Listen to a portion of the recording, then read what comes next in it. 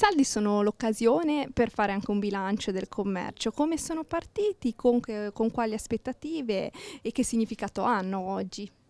Allora, le aspettative sono molto importanti sia da parte del commerciante ma anche del cliente perché ha l'opportunità di comprare con dei, degli sconti importanti, dei capi importanti e quindi di rinnovarsi il guardaroba e quindi le aspettative sono buone. Ecco, una buona partenza, diceva, ma tra mh, centri commerciali, outlet e commercio online qual è l'avversario più temibile che voi riscontrate proprio nel vostro lavoro quotidiano?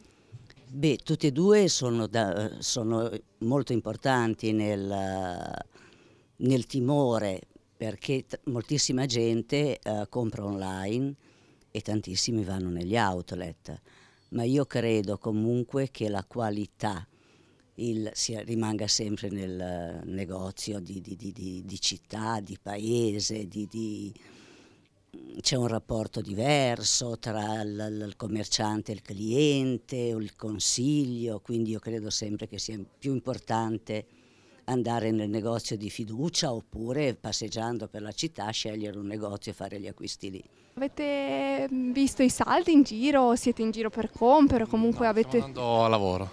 Ah, ok, vi siete già fatti un'idea delle promozioni? Sono valide? Eh, abbiamo fatto qualcosina, sì, ma niente di che, avevamo già comprato quasi tutto. Ecco, come tipo di acquisto privilegiate i negozi del centro, centri commerciali, outlet o il commercio online? Eh, ultimamente tanto online effettivamente, non sui vestiti, sui vestiti rimaniamo più sugli outlet. Ecco, in generale tra outlet, eh, commercio online, eh, negozio tradizionale? Online. Per quale ragione? Si risparmia, poi, si risparmia e poi riesce a trovare di più online. Anche perdendo un po' magari la prova, la ricerca? Sì, sì, sì. No, ma le taglie non si sbagliano, sono, sono giuste.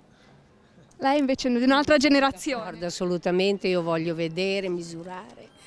E le cose si devono anche toccare con mano per vedere, online sarà, però non trovo utile io, non, non, non fa per me.